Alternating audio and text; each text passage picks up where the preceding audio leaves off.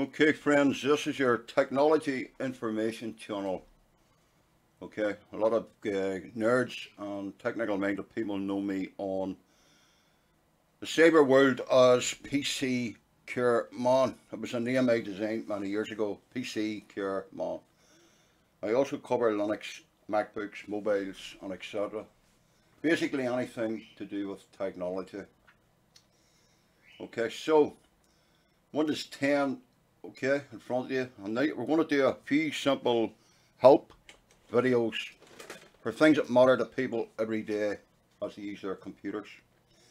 So if you've ever had a problem with your graphics card or your drivers okay there's a number of things you can do okay? So we want to go to basically the device manager okay? So what we can do is we can open the control panel now Windows 10 things have changed over the past where the control panel mightn't be as handy to see or use. So if you go to your search bar in the left and type in control, you'll see your control panel here. You can right click on it and you can pin it to the taskbar which I've already done. Okay, so if you open up your control panel here and if you go to change it from categories to large icons okay? You do have what they call administration tools. You also want to go to the device manager.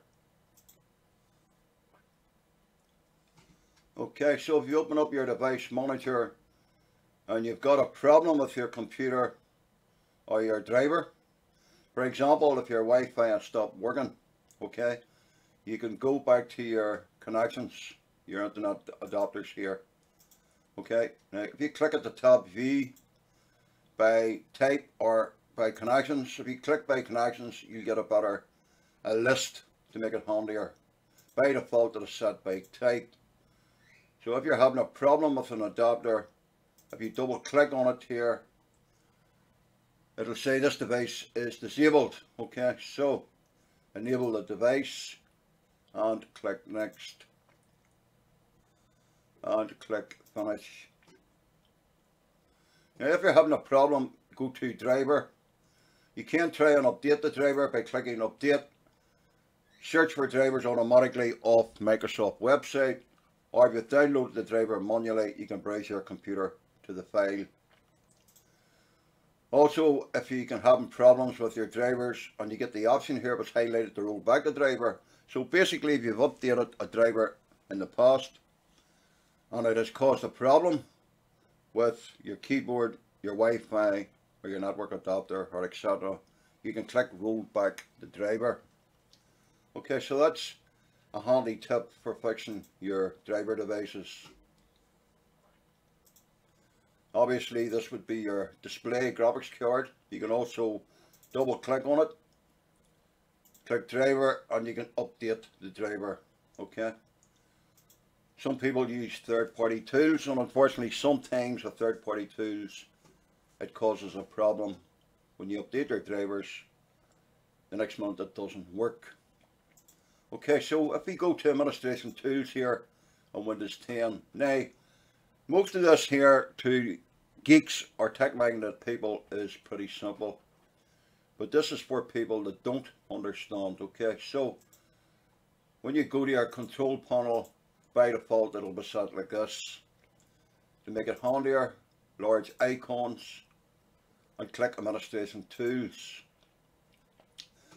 Now here you have quite a number of administration tools. You've got component services, computer management, defragmentation and optimized drives, a disk cleanup, event Viewer.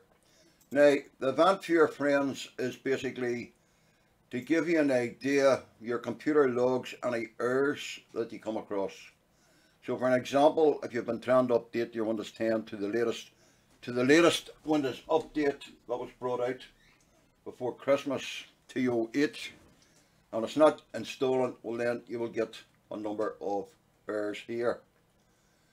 So sometimes the Microsoft scanners will use the event Viewer as a con because it automatically picks up it automatically picks up errors okay? So example if I went to the system on here it'll come up as warnings okay? So I would have to do a bit of research on that there if I didn't understand what it was okay? So sometimes that the con men use the event viewer basically to bluff you as if you've got a virus okay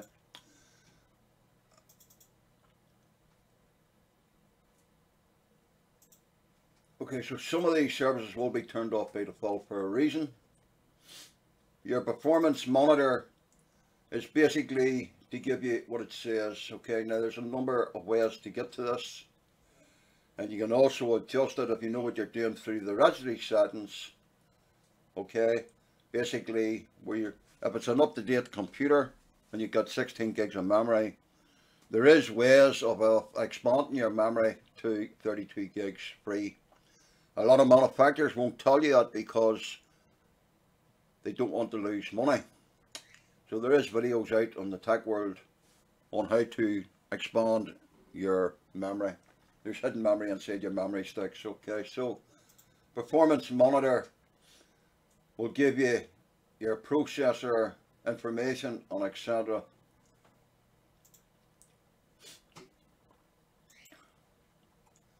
Recovery drive to create a recovery drive for your computer. Your registry editor, there's a number of ways of getting to it, okay?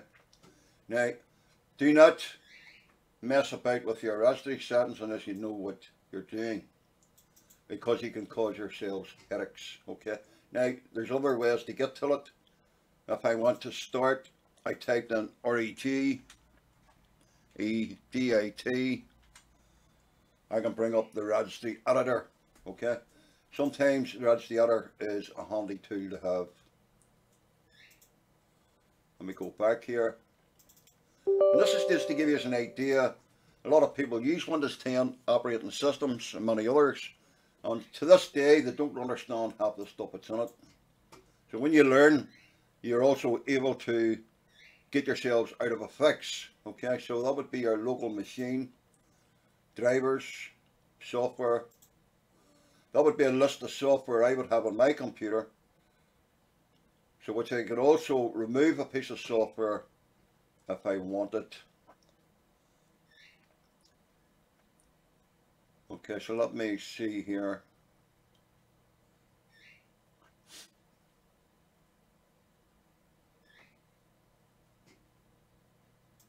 This is super anti-spyware.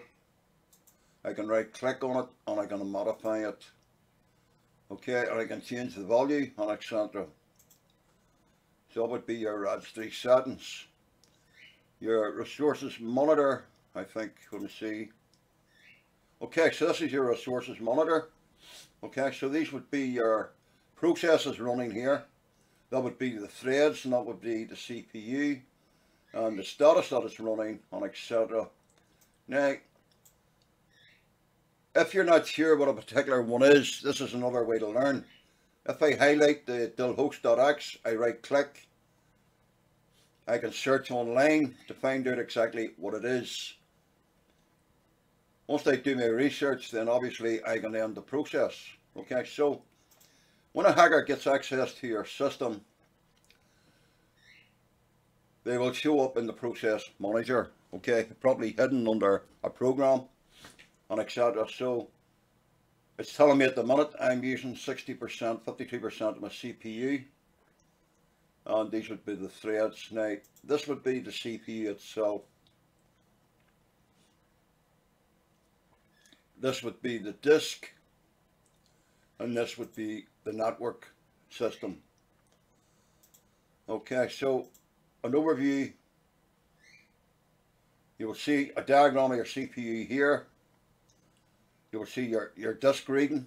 You'll also see one of your network and also one of your memory. So some people might be surprised that I know all this stuff because I've been on it for many, many years. And of course I have come across network drives that were maliciously hacked and of course I was able to repair them And of course I was questioned by an idiot. Oh, how did you fix them network drives? I'm with the technology 16 years. And this was the clampet that works for a contractor for BT. Little does he know what I know he is. And with a couple of kiddies that were given a few programs and pointed in the right direction. So I basically said to him, if you're there 16 years, you need to go back and learn more. Okay, so that would be your memory friends here. And if you notice, I'm using what I'm in use here, physical memory, and what's available to me. Okay, so it might be a bit difficult for some people to understand. These would be your services. Right. Every computer has services, okay? Every computer has services. Let me give you a better screenshot. Uh, let me go to stage 3.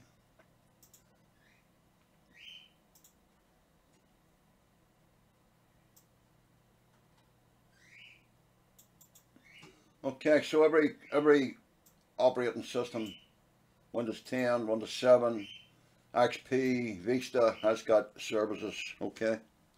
And these services all play a part of your operating system. Many years ago when XP was brought out, whenever Windows up released a, Microsoft released an update, it closed a certain service. Like some of these services are running by, or set by, most of these services are set by default and some are turned off. But when you understand what the service does, it can also be used as an exploit where someone can get access to your computer. And by learning it, you can actually disable some of the services and secure your system a lot more than, okay, so example, if you happen to download a security product on your computer, a third party, or you happen to run AVG or Advanced SystemCare, some of these programs will close some of the services for you. But by learning them, you can also close them yourself. Now to give you an example, obviously this one here would be classed for iTunes, okay? And when you click on it, you'll get a description here, enables hardware devices and software to automatically configure themselves to a network. Okay, so this particular one I have disabled. It is part of iTunes, Apple iTunes, and if I wanted to turn it on, there's a number of ways I could do it. I could right click and I could go to properties okay? You will see the services disabled. Now if I go to recovery here take no action. By default some of these services are set to restart the service. So in that case you want to set them to take no action and hit apply. Otherwise the service will automatically restart when you restart your computer. Dependencies for that particular service would be TCP IP protocol driver. Okay. The following system co components depend on the service is none. Okay. So I happen to know what that service is. Now look at this one here is Brave Browser. It is set by default to manual. Recovery take no action. And you'll notice that when I highlight it, it'll give me a description of the particular service.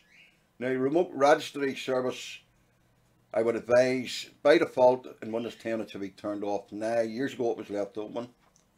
Print Spooler can be used as a, an exploit, but a lot of people need it for their printers. I don't particularly need it for this. Now, remote registry settings one here uh, speaks for itself. Okay, the rem reading and remote access I will be disabling. Okay, so remote registry by default in Windows XP Windows 7 was on. And if you think about the word remote, okay, it speaks for itself. Okay, so as a security information, you want to basically disable it. So if that was on, how would you do that?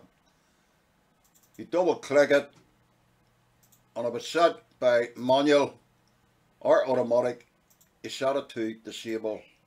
You go to recovery here, it'll say first failure restart the service, take no action, take no action and hit apply and go back it's disabled and hit OK.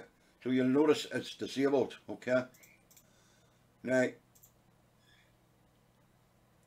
this one here, I'm going to go to properties and I'm going to disable that one, okay? Hit apply, go to recovery and set it to take no action. Now to learn what services you turn off or turn on, there is a website available called blackviper.com. Now this one here would be for your printer. Now this also can be used as an exploit.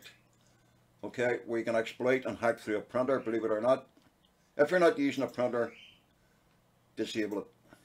By disabling it, it'll also give you security and it'll also give you more performance on your computer and hit apply and hit OK. Okay, so we're not going to go through all the services because it would be complicated. Now, system configuration. Okay, this would be what they call msconfig. There's two ways of getting to it. If you go here and you type in MSC, ONFIT, you also can bring up the system configuration. Okay, now on Windows 7 this was pretty handy. On Windows 7 if you got a virus it would be sitting on startup. You will notice Windows 10 now is your startup is run by your task manager. But if you wanted to boot into safe mode, okay, Windows 10 is a lot trickier than Windows 7. Windows 7 computers, you restart, you tap the F8 key on the keyboard and you go into safe mode. The Windows 10 computers is slightly different. So you go to the boot sector and you would click safe mode here and you would hit apply. So when you restart, you can go into safe mode. When you finish doing what you want to do in safe mode by defragmentation, your hard drive and tidying up the sectors on your hard drive, well then you would go back into this and click on tick safe mode and hit apply and it'll go back into normal mode. Okay, so that's how you get in. Now these would be services okay that would be running on your Windows 10 computer so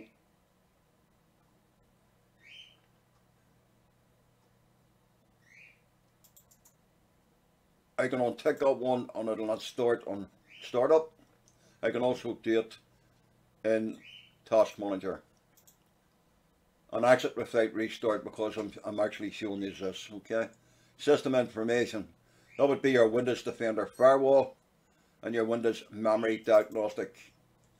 Okay, so if you're having problems with your memory, there's a number of ways you can check it out. Obviously, if your computer doesn't boot up your laptop and you know what you're doing, sometimes one stick of memory can be bad and your computer will not boot. So there is a few third-party programs you can run to test your memory. On some computers you would tap the F1 key or F2 key for the data memory check.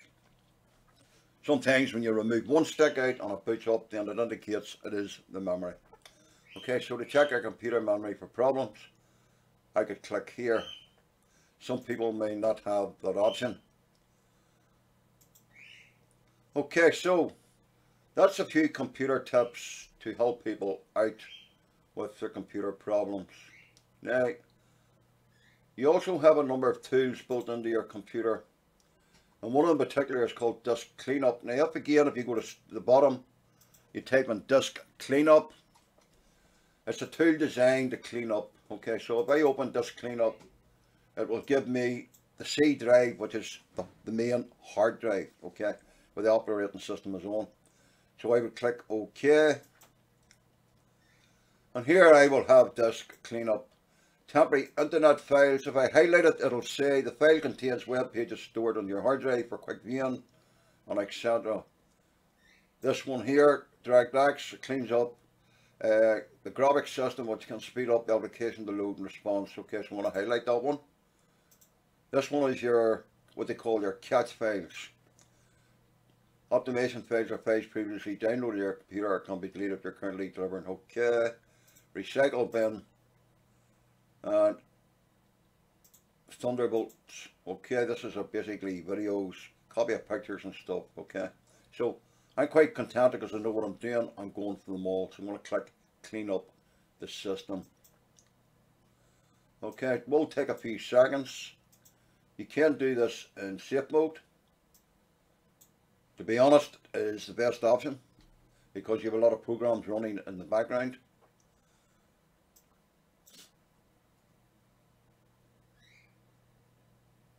Okay, so I can, I can free up 7.11 megabytes of disk space on my computer.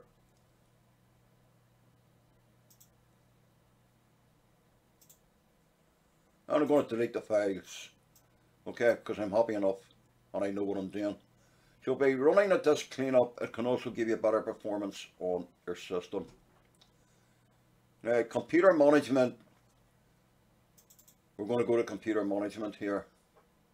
Okay, now this might be a bit technical for some people, okay? So, if I'm having problems with the hard drive and I want to format it and it's not showing, so an example, sometimes when you install a hard drive, for example, this particular computer, that would be my solid state drive, that would be a hard drive, and that would be a hard drive. So I have a number of storage devices, okay?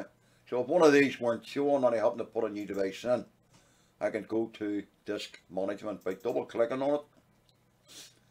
So what will happen here is it'll show me my hard drives, okay? So this would be my operating system. That would be the recovery partition. Okay, so that would be one of the storage drives. So if I uh, deleted that volume, okay, you'll see nothing. So it'll not show up Okay, so you notice it hasn't shown up. Okay, so if I right click on it and I click new simple volume and I click next and next okay I can assign any letter I want to it I signed M click next what it'll do is it'll format the hard drive okay so it'll be recognized as you can see so if I go back in you will now see I've changed the hard drive to M. Okay, now so these would be where your hard drive. So if you notice one here that is blanked out, if you right click on it, okay, I can change the path and I can also shrink the volume which I'll cover at a later date. So just a few handy tools friends are sitting in front of you built into your computer. Uh, just a small explanation of what exactly they do. I won't be going to that one because I won't be showing certain ways that I've got my system set up for security reasons. So there's quite a lot of stuff here in your control panel. Some people know what they are and some people don't. Some people don't have a clue. Okay, it's just a small tip to help you out. Now, I have videos covered on networks, okay? But I also want to try and cover another video here. Now, let me see if I can remember what this is. Uh, this is like everything else, and you learn over the years. Uh, it goes into your memory bank, and sometimes it takes a while to pull it back out as you get older.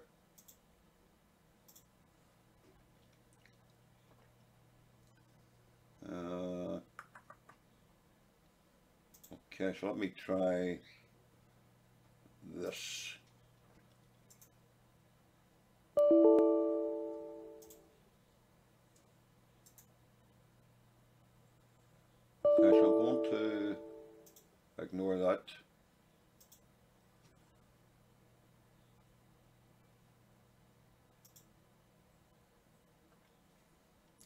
That's basically for checking for your hard drive and that's for optimizing it, but there's a number of ways of doing it. Okay, so I'm looking for something here. It'll take me a second or two to find it. Uh,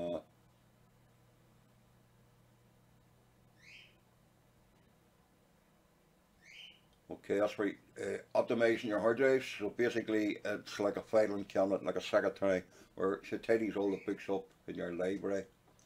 And it pulls all the bad sectors from one hard drive to the other. Uh,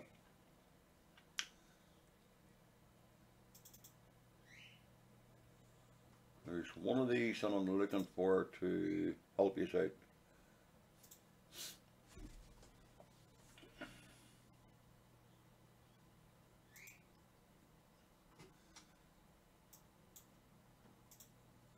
Now, by default, uh, a lot of files are hidden, okay? It's not a bad thing to show your hidden files, providing your system is is secure enough, okay, for yourself, because there's a lot of stuff hidden that you wouldn't be able to find. And you can also search for drives and etc. on your system. Uh, what do we see now?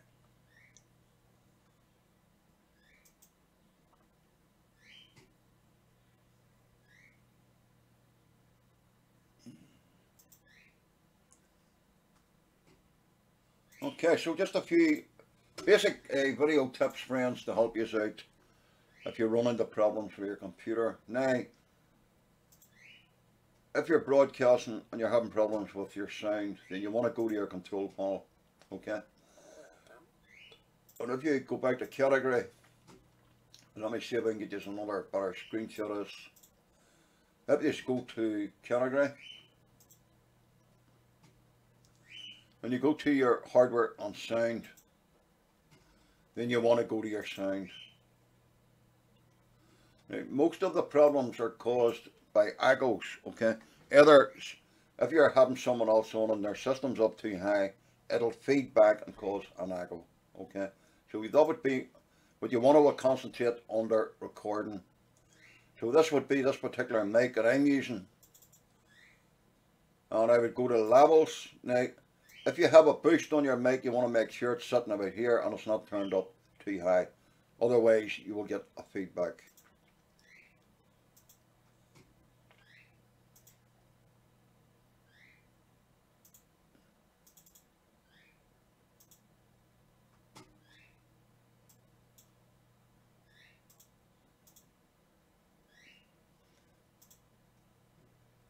Okay, so that's basically how you control your mic, depending on what you're actually using. Now if you're using a standalone desk mic and you do have a webcam plugged in, then you want to basically go in and you want to right click on it and disable it, okay? Otherwise, if you have two mics going, you're going to get a feedback. Okay, so that would be your sound. And these would be, if you're having a problem with your devices. It will be highlighted, okay? Okay friends, just a small techno technology information video. Okay, you could probably call it tech help. I call it technology information. And hopefully that'll help, help a lot of people out. Now, if you right click on your desktop, if you right click on your desktop you will have your display settings here. And this would be Windows 10 you can't turn on the night light which basically will kick on automatically and it'll not be a strain as your eyes. Now there's quite a lot of stuff here I could cover but in one podcast it would be far too much. And of course there's a lot of security expertise that you could use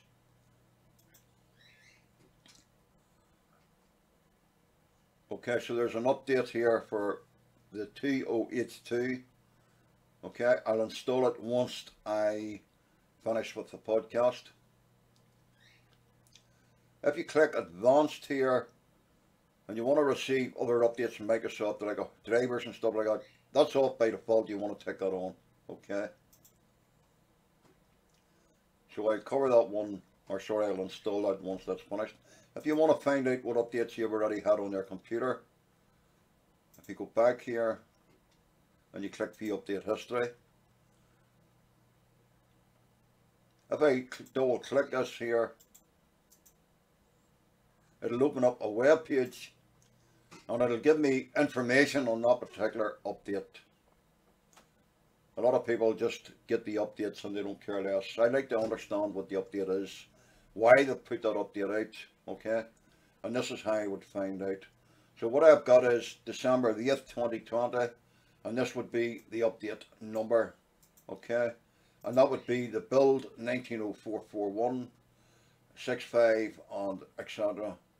It'll tell me the release date for the build this. That was a new operating system come out. And it'll say on the 12th of the 8th 20 important Adobe Flash will go out of support okay? So for me doing this here and going into more depth then I can understand more about it. And explain it to you as a user in a simple term.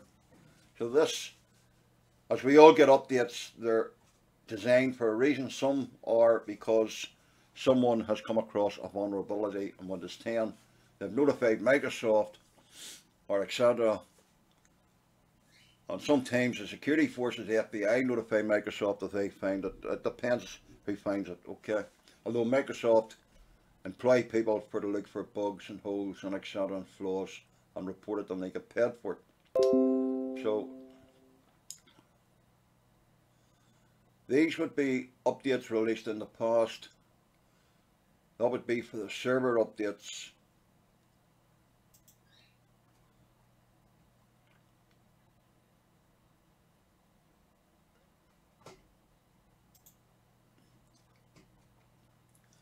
Okay, so that would give me more documentation. You can also download updates manually if you know what you're doing, okay? To get Windows 10,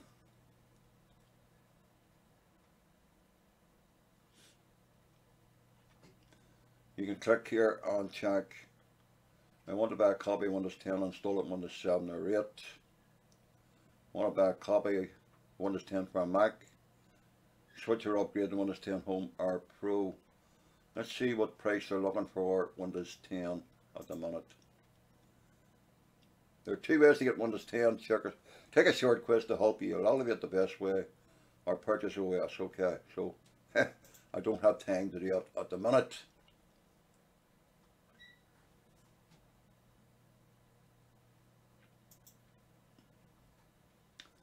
Okay, check for updates. Okay, so if you're having problems with your Windows 10, it doesn't update.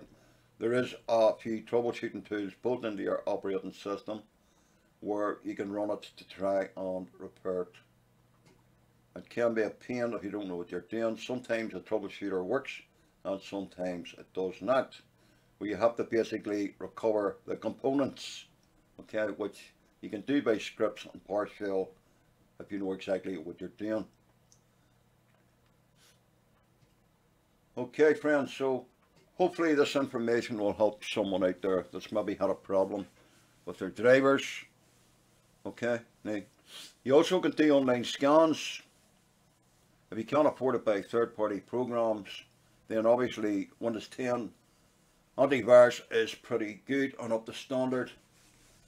Okay so I don't want to go on too long because I could go into more things hardware etc and really confuse people Okay, so these are just basic, what I would call basic technology. Sadly, it depends on the level or the course that you would do online. Uh, if you're doing a computer course, yes, you'll probably learn how to use a computer to a certain extent, word processor, PowerPoint for demonstrations and etc. or numbers and all for your business, but you'll not learn this sort of stuff on a basic computer course. There's many avenues even of cybercrime, okay? Uh, different ways and tools and methods they use to get access to systems. So it's a different ball game and it can go in in depth. Okay, so thank you very much. Uh, if you have any problems, if you happen to be lucky and I'm on your Facebook, George, you can PM me.